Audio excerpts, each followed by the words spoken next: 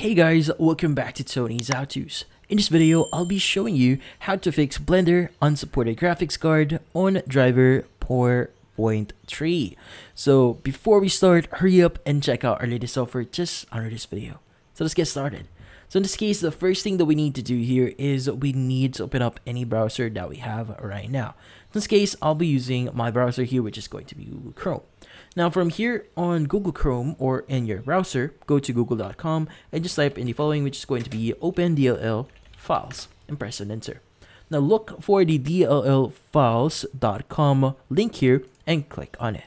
In this case, you should be able to see a bunch of information here, but the most important information or section here is going to be the download section.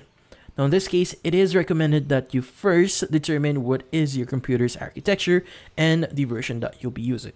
Now in this case, you should be able to see or basically choose from 32 or 64 architecture.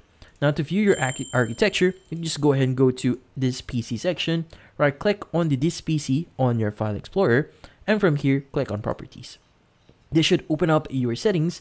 Now in this case, scroll down a bit and from here you should be able to see a section that says 64-bit operating system. Now meaning it is going to be a 64 base operating system or an architecture. In this case, you need to download a 64 architecture. In this case, once you determine the correct one, you could just go ahead and click on the download button here and it should start the download process.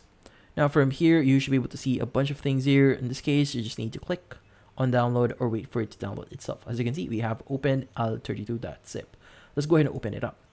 Now from here, what we need to do is we need to make a copy of the open al32 DLL. So let's go ahead and extract it into our desktop and close this one.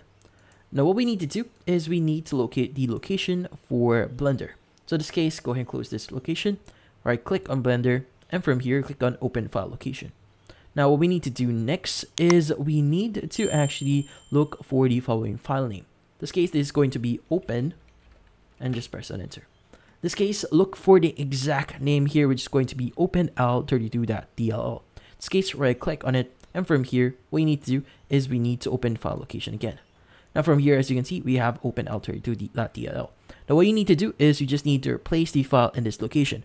But before doing that, make sure to right click on the original file here, click on the copy and paste it on a different location so that you'll have an emergency emergency copy just in case something went wrong. In this case, once you've done that, go ahead and just drag it in here and that should solve your problem. And that's about it. So if you found this video helpful, hit the like and subscribe button and watch our next video.